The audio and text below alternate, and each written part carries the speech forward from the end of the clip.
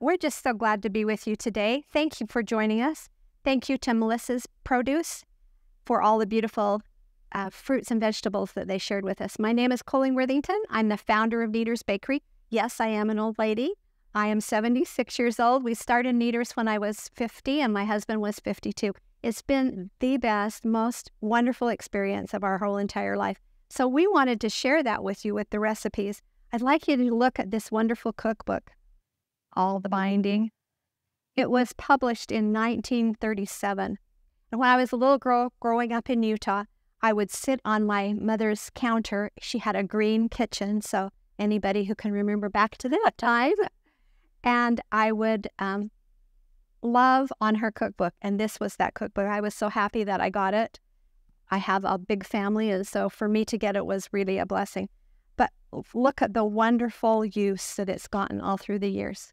Cookbooks should be a memory, right? Foods, food is a memory for us. Any celebration we have, we have food. Any um, event in our life, there's always food. So I'm going to let my daughter, Amy Peterson, go ahead and tell you a little bit about our cookbook. Yeah. So the the sign of a really great cookbook is is that it lays flat, right? When we're in our kitchen, it needs to lay nice and flat. Here's Colleen's mom, my great grandma's cookbook. Lays nice and flat. And here's our cookbook. So as you're making in your kitchen, this is made um, for you to spend hours in creating wonderful memories and recipes. We hope that you take this beautiful book and and you have that memory in your kitchen and your kids up on the counter making memories as a family together. So this is this beautiful cookbook. And mom, tell us, tell me how many uh, recipes are in this. I think there are 136, but a lot of them have a variation. So there are over 300 pages in the cookbook. You know, I'm wondering, why do you think we have so many? recipes, Amy. What do you think about Kneaders that makes it so we are sharing so many recipes? Yeah, if you're not familiar with Kneaders, we are a seasonal bakery. And so every three months, even in between there, we're changing recipes all of the time. So we have hundreds of recipes that we want to share with you. And some of them are our most populars, like my Nana's pumpkin pie recipes in here.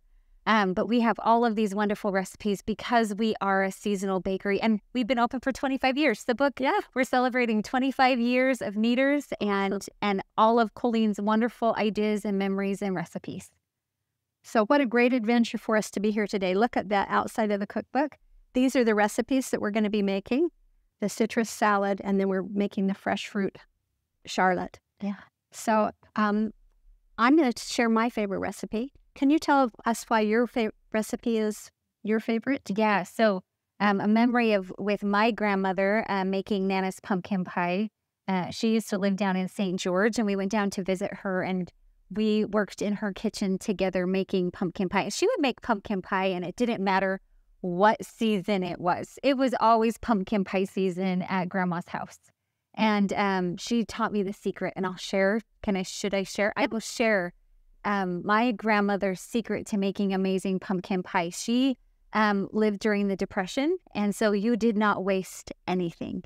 So when you open that pumpkin puree and you take the evaporated milk, um, she would take some evaporated milk and put it after you've scraped out everything you thought you could get out of that can. And then you would pour that evaporated milk in and shake that because you need every little scrap of pumpkin as part of the recipe and it tastes different. It does. It, does. it tastes different. If you do it that way, it tastes different. Yeah. She was a smart lady, that's for sure. Well, my favorite recipe in here is um, our Irish stew, and I love it. We had a um, executive chef that worked for us who developed this recipe. His he is just amazing at all the things he does, and um, I've I've taught it several times. I've loved on it several times, but there is nothing as good in Utah as sitting by the fire and it may be snowing outside and it's probably about 10 degrees and you're sitting there enjoying that wonderful, wonderful stew with the thing that we're most um, noted for, and that's our bread. You know, we make our bread in the bakery fresh every single solitary day. So right now, if you went in the back of Kneaders, you would in every store you would find bakers down there making bread from scratch that in the morning you could be able to buy it. And it's it's been um, a, a great experience for us. We've watched lots of bakeries who have decided, I, you know, I don't know. Maybe we'll have somebody else make it and bring it in. But I promise you, there is nothing as good as a nice hot piece of bread that has been made with a sourdough start that's been cooked in a Hearthstone oven. Yeah. Yeah, it, there's just nothing better. So um, that's how we started out. And then we got crazy and started doing all these other rec- recipes. We had a little notepad by the front register. And when people came in and said, Oh, you really ought to make this, then our crew would write it down on the notepad. And at the end of the month, we'd look and see how many times they said you should make this. If we had a lot of people who wanted it, we really worked on the recipe and tried to get it for them. Why why a cookbook? Um, why why a cookbook by now?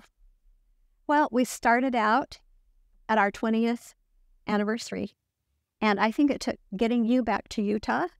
Oh, was it? To, was it us on? I think you were working on this for for lots and lots of years. Probably about seven years we've been working on it. And we've just been so lucky to have so many people that have helped us along the way. Amy, why don't you talk about the cookbook and how it's organized a minute, would you? Yeah, yeah. So the great thing about this cookbook is um, food with a story is the best part, right? Food is great, but food with a story, food with memories is even better. Um, so you'll notice in in our cookbook we have um, all of the people, and this this isn't this isn't um, all inclusive. These are some people who have really affected us. Our very first pastry chef, um, her kids that came and worked for us, their journey, where they've gone, what they've done, what they've built um, as they were immigrants to the United States. Um, we have uh, Dr. Schiffman, um, who we really got involved in cancer research after my nephew and your grandson was diagnosed with cancer. Um, we have very pivotal people that we wanted to share their story and what they've grown and how they've become just as important as as leaders. Yeah. The people the people who uh, are who build this company and we wanted to make sure that their stories were in here as well as their very favorite recipes. So this is Yermonia and this is her flourless chocolate torte. Um, Amazing. It, absolutely so good. And you'll see stories all along the way talking about how Kneaders was built, the people who affected it, how important family is to us, um, sharing recipes of their own and then us sharing recipes from the bakery. I think one thing that's pretty unique for us is every child I have, every spouse of theirs, and every grandchild has at some point in their life worked at the bakery. So, hey, we should get going, you think? Yeah. Awesome. We're going to start with making our fresh fruit charlotte. We've gotten this wonderful fruit from Melissa's Produce. And again, we think we're really glad that she would send that to us. Um, this do you want to hold up the picture, Amy, yeah. so you can see in yeah. the book? Um, Gorgeous cake. We're going to be making it. I've got a lot of it assembled already. Let me give you a few little tricks. I've taken um, paper, parchment paper, and I put it underneath it. So when I'm done, I can just take it all out and it'll be all nice and clean. I have already got these cakes made for you. You know what? In our cookbook, how many recipes do we have for a vanilla cake Cam? We have three different recipes. So one's right up my alley because I have four kids and I don't have a lot of time, but I want to make it at home. And it's a hack for a box cake mix that will taste like your own. The other one is just a basic beginner recipe. And then we have one that's a master cake um, recipe. But any of those, yeah, could any yeah, person, could anybody, anybody, anybody could be successful. And the rest of it's kind of putting things together. Also, in the recipe book, you'll find a buttercream recipe that we use in the bakery all of the time, and this uh, vanilla whip topping. Yep, this whip topping that we use as well. So already I have taken the cakes, I have cut them. I have three layers there of cut cake. And I just wanted to show you what I've done in the middle of them all. I have taken a pastry bag, and if you don't have a round tip, you could just go ahead and cut the end of that off. And then I'm just going to go around the outside edge of it and I'm going to make a little dam for it because I don't want any of the raspberry jam running out of it. So we have this wonderful raspberry jam from Kneaders that we're going to use. Amy, whose recipe is this? Good question. Nana's. It's Nana's recipe. and then I'm just going to spread some of it inside. It is my favorite jam that we have uh, at the bakery. But most all of the jams at the bakery are Nana's recipes. So the So- thing about the thing about um, Gary's mom, she was an ad, she she canned, and her pantry was beautifully organized, and and you would go into her pantry, and she had everything labeled with calligraphy, handwriting. I mean, it was absolutely just almost a work of art, of labor of love. It's like And going to a fruit museum. it was. That's it. It was a canning museum. She loved to do that. And if ever you went to Nana's house, you came back with a lot of food. Food, yeah, absolutely. Whether it was leftovers from the meal you went to, or whether it was jars of Alberta peaches, or whether it was jars of jam. So I have made that, so none of it's going to come out. That little dam around it. You can see I've done that twice on this one. You can see the different layers of it. Uh, when you uh, you can run around it like this to get anything that's sticking out. I'm going to go ahead and finish up on this. I'm just going to give this to you, Amy, and let you get that out of the way for me. Excellent. And then I'm just going to go ahead and put this right on the top. Kneaders jam tastes awesome. You can get it on our online store, but you know what? If you used another kind of jam that is really tasty, it wouldn't be a problem. But one thing I have learned for sure as I have had Kneaders is that it's never going to taste better than the products you do, you make it out of. So if you use a cheap brand of jam, yeah, it's not going to taste this good. So if you don't use great olive oil, if you don't use great balsamic, then you're going to be a sad person. And I'll leave you that. Thanks, Amy. And then we have the whip topping here. I'm going to take the whip topping, and the whip topping is going to hold on our Butterfingers.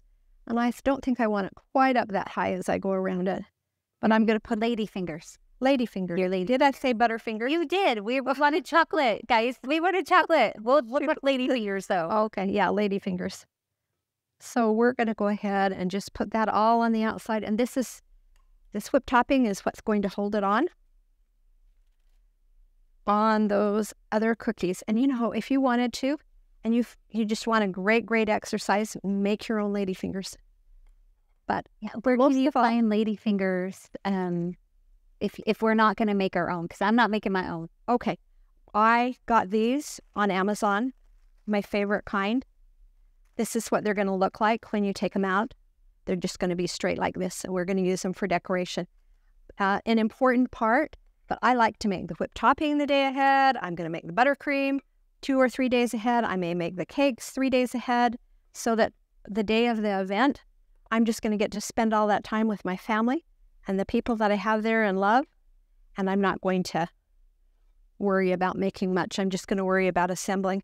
So this can be great for the 4th of July, right? Christmas. What, o- what other holiday? Celebration. Anytime your house is full of peop- people, laughter and love, like this is a great opportunity.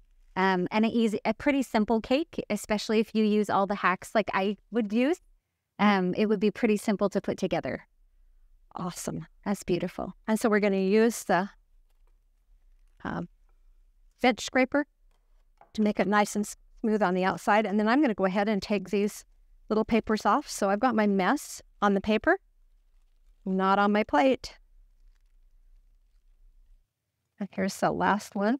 And then the thing I'm going to do is start putting the cookies around the outside of it. So I'm just going to put them up here. Now you'll notice the cookie's taller than the cake, but that's because we're going to fill that part of it with fruit. So, Amy, how about if you just go ahead and put these on? Yeah, I'll do. I'll just talk about the fruit for a minute. Oh, great. So, when you're doing your fruit, you want to pick, of course, the very best kind that you can possibly find. But it, all strawberries aren't created equal, right? And so I'm going to go ahead and I'll dump my strawberries out. And then I'm going to go ahead and I'm going to uh, pick them to use in this recipe. So some are going to be huge and big. This is a pretty big one. And then we've got these little teeny ones over here. And so I'm going to take out the little ones. I'm going to take out the biggest ones. And then this one has a little bruise on it. And that happens. It's fruit, right? And so I'm just going to set that aside. I'm not going to use it. And I'll go ahead and I'll pop the centers out of it. Now here I picked up one that is um, has a lot of yellow on it. And I want all these to be really bright red. So I'm not going to use that one either. But I just take that green right out of the middle of it. And then I'm going to cut it down the middle. So let me show you the difference in these. This is the biggest. That's how big it was. And here is the littlest strawberry. And I want them close to the same size and close to the same color when I go to put them on. And then you're going to want to do the same thing. I've got my two cups right in here. I'm going to go through and pick out the blackberries. This is a hard time of year, uh, especially for berries. We do better with berries in the spring, but I wanted to share this with you today. And so here are the blackberries, and I've got blueberries as well. And then my favorite of all, raspberries. So we're going to go ahead and we're going to put these on now. The first thing that you want to do is you're going to lay these down flat. Mm, I don't know if you can see that or not. Laying them flat. And then I'm going to just go back and forth with them and lay all of these base down flat. Take some. And yay! Don't you love strawberries? Oh my gosh, they are just absolutely the best. And this dessert, it was, I saw it once and it was so wowy. I thought, can we make that at the bakery? It looks way too complicated for us to be doing it. And then I put it to the pastry chefs and they said, oh no, Colleen, this is absolutely simple. So really, truly, anybody could do this recipe. And I'm going to put all of those down flat on the cake. We're going to come back and put layers over the top of this layer. So I'm not really worried too much about having them look absolutely uniform. And let's put one more in there. Now I've got some strawberries left over. So after we're all through with everything, I'm going to go back and I'm going to put some strawberries so that you can see more of them. So the next thing I'm going to put on are the blueberries, and I'm going to put the blueberries in the holes. And I'll have blueberries in the holes. Isn't that amazing that that whipped topping will hold on perfectly, right? Yes. And look how beautiful those lady fingers are. So lady fingers are a shortbread cookie that's uh-huh. nice and long. That's that's a good description of of those of a ladyfinger. Uh-huh. And when you get them, be sure that you get the long ones. And again, something that's readily available in most stores and certainly available on Amazon. Okay, I'm about got all these in. So I'm going to just save a few just to top it, make sure I've got a really nice topping in it. My favorite raspberries. Yeah, nice. So you can see I'm getting taller now, right? So it's going to come up to the very edge. Almost to the top of those lady fingers. Yeah, and right over the top. The middle will be taller than the edge. So I'm going to go ahead and finish those raspberries in there. Switch on. Then we've got the blackberries. And we're going to put those on. But now I'm kind of going back and I'm going to put these strawberries on at different angles because I want to see this beautiful inside part. So I'm going to stick it on. Be careful that when you stick it, you don't put it so into it that it takes off the lady fingers. Here we go. You're making a beautiful picture of berries. Oh, thanks, Amy. Yeah. That is so much better for me. I'm going to put a few of them over, but I'm, I want to see these insides and all the variety of them. And now the thing I'm going to do, can you believe how easy this is? Oh, it's beautiful. Oh my goodness. Too. It's just so incredibly easy. And it's really wow when you take it out for everybody. They're going to think, oh my goodness, you've spent a lot of time in the kitchen, lady. Okay, and now I'm going to go back and I'm going to put some of the blackberries, some more of the blueberries. I'm going to make it so it mounds in the top. Awesome. Thanks, Sam. And we'll go ahead and just get those others on. Okay, that is so pretty. And now we're going to tie a ribbon around it. Yeah. So I think this makes a really great 4th of July cake. And you do a ribbon that's red, white, and blue, right? Oh, yeah, we will. Christmas, Valentine's Day ribbon with hearts on it. Yeah, I'm going to try and do this upside down, you guys. Let's see. Let's see if we can get it set. He is right. good at it. Uh, it would be beautiful with a ribbon. It would be beautiful without the ribbon. This is a classic Kneaders look with the ribbon, um, all finished. And I'll trim up the ribbon and so that it's not quite so long. What a beautiful uh, dessert um, to have your family uh, in your home celebrating any time of the year, you could really do it. Um, but what a beautiful dessert. Oh, it looks beautiful. I really, really like it. So the trick to cutting this, I'm sorry, Amy. The trick to cutting this is you have the lady fingers as your guide. And so you're never going to slice down through one of the lady fingers because that's not going to happen for you. That would be a mess. But I'm going to use, and I like to do two of the lady fingers and slice down it and then come over two more and I can slice down it. When you get it to this point, you'll want to put it in the refrigerator and keep it there until you're going to have, uh, until you're going to serve it. Also, it'd make a great centerpiece, don't you think, on the table? Beautiful. Yeah. Enjoy with your family. Make some memories. Next in the kitchen, we're going to make the citrus salad uh, from this beautiful 25th anniversary cookbook. Thank you again to Melissa's for sending us some beautiful citrus for the salad as well. So this is a quick, simple, you're a busy mama salad. I'll give you some some tips along the way to make it faster. Do you think, how many minutes do you think this is going to take? Oh, I you know I'm gonna use rotisserie chicken because I'm Oh, I'm not I gonna like cook the chicken. I'm gonna get a rotisserie chicken and I'm gonna pull it apart really quick. Everything else is ready to go. I'm gonna peel the oranges and I'm gonna open the salad bag. Okay. That's about it. Maybe if you want to make the dressing from scratch, it's really easy and you can throw that together pretty in a pretty fast. Yeah, pretty fast.